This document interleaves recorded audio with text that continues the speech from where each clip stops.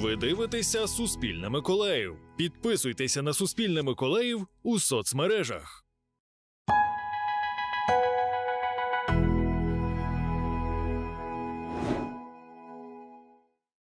Курси із ручного розмінування, сертифікати на нове житло, створення кастомних моделей авто для збройних сил України та візит дворазової олімпійської чемпіонки Ольги Харлан до Миколаєва. Я Вікторія Андрушків. Подробиці розкажу далі у дайджесті новин Тиждень Миколаїв. 31 студент проходить курс із ручного розмінування на навчальному майданчику у Костянтинівській громаді Миколаївщини. Керівник тренінгового відділу міжнародної організації з гуманітарного розмінування Халотраст в Україні Андрій Позняк розповів кореспондентам Суспільного, що курс розрахований на 25 днів. Після завершення випускники стають демінерами. Цей пристрій називається UXO. Металодетектор. У нього така назва. Да. І починаємо виявляти. Миколаївець Юрій Нефьодов проходить курс з підготовки демінерів. 24 лютого 2022 року добровольцем пішов служити до Нацгвардії. Говорить, нещодавно звільнився через сімейні обставини. Вирішив займатися, щоб е, могти допомагати батькам і плюс е, е, робити щось важливе для своєї країни. Ну, розмінування це дуже великий етап і важливий для нашого майбутнього. Головний інструктор Андрій Позняк розповів, що працює в Хало з 2016 року. Тоді долучився до розмінування на Донбасі. Каже, стати демінером може кожен, якщо стан здоров'я дозволяє. Саме важніше для демінера це треба бути уважним і відноситися до своєї роботи з дуже великою повагою.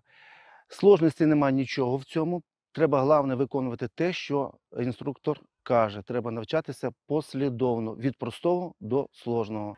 Валерій Стрілець розповів, що проходить підготовку демінера в рамках навчання на польового офіцера HALO Ukraine. Різні посади в організації обіймав з вересня 2022-го. Я е, роз- розумів, яка небезпека і е, що таке мінне поле. Але я не знав, як важко і як складно е, проводити саме гуманітарне розмінування. І це не лише теоретичні знання, це і практичний, практичний алгоритм дій, який постійно треба е, прокручувати в мозку і не робити помилок, тому що будь-яка помилка може привести до трагічних дій. Андрій Позняк каже, навчання на цьому майданчику на території Костянтинівської громади проводять з весни 2023 року. Серед студентів поточного курсу 25 чоловіків і шестеро дівчат. Ви знаєте, у нас дівчата буває так, що навіть ліпше роблять цю роботу і навчаються, навіть, ніж, ніж хлопці. Але ми працюємо так же, як з дівчатами, і з хлопцями на однаковому рівні. Світлана Богатиренко розповіла, що народилася і до 2014-го жила у Криму останні 10 років у Миколаєві. За освітою юристка. Каже, має чітку мотивацію, щоб вчитися. В першу чергу, тому що я хотіла б допомагати своїй країні. У мене багато родичів зараз в Донецькій області, тому я зацікавлена. Хочу мати якесь відношення до цього, щоб люди могли повертатися у свої домівки. Сертифікати на нове житло, компенсація для відновлення будинків від держави, громади та благодійних фондів. В Галицинівській громаді триває оновлення житлового фонду. До деокупації Херсона село Прибузьке перебувало під обстрілами армії Російської Федерації.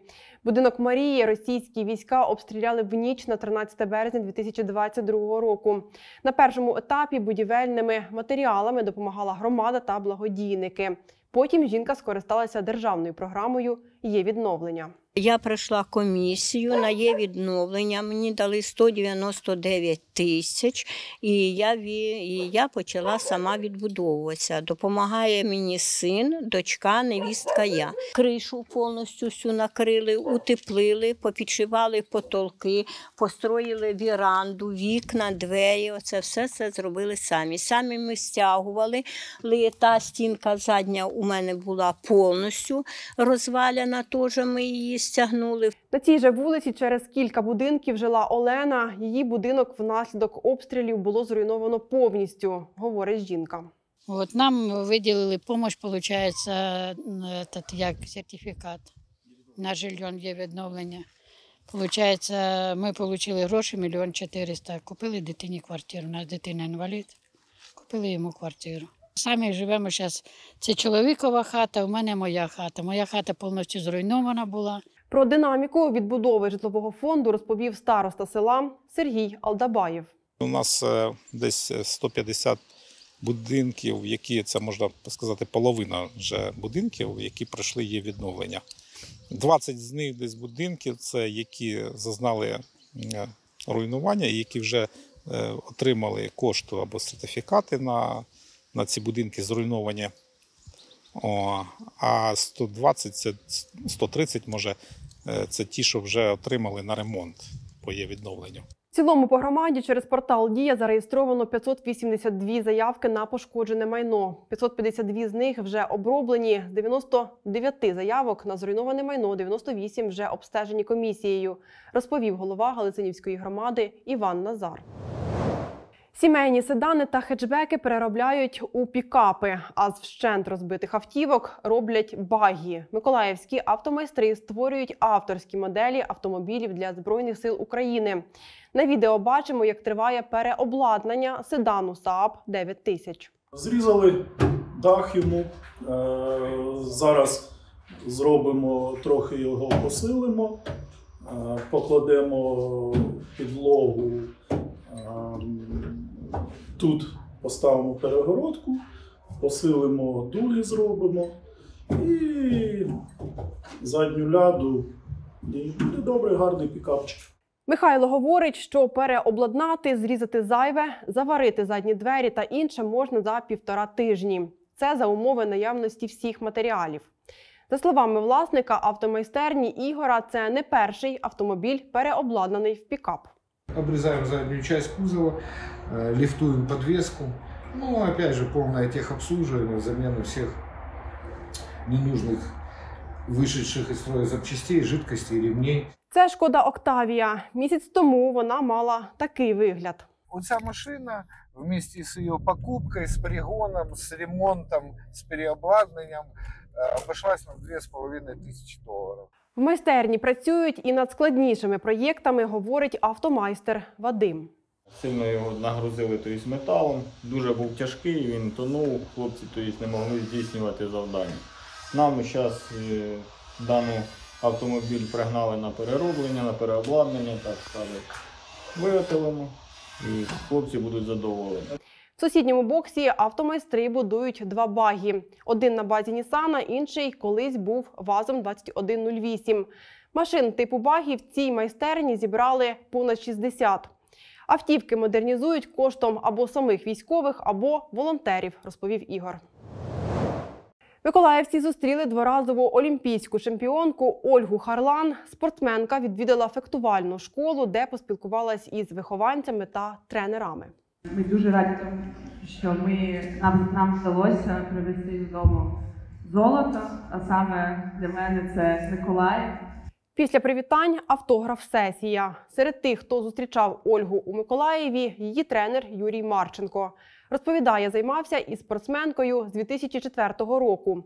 За її виступами в Парижі спостерігав по телебаченню. Додає, іноді не стримував емоцій. Ольга, конечно, э, показала все, на что она способна. Немножко не хватило, немножко. Я знаю, как она хотела личную эту золотую медаль, но эта бронза, она на вес золота. Для меня на вес золота и для Ольги тоже. Она понимает, что такая бронза стоит золота. Нова рекордсменка в олімпійській історії України Ольга Харлан. За результатами виступів у Парижі загалом спортсменка має шість медалей: два золота, одне срібло та три бронзи. Пояснити всі камбеки, ну це, мабуть, що жага до перемоги, і просто я віддала всю себе, і в якийсь момент я розслабилась. І може і прийняла те, що я можу не виграти, але я взяла ту можливість, що я можу виграти. Все ж таки, я скористалася тією можливістю і е, просто не віддала своє. На цьому прощаюся з вами. Більше новин на нашому сайті та в соціальних мережах Суспільне Миколаїв.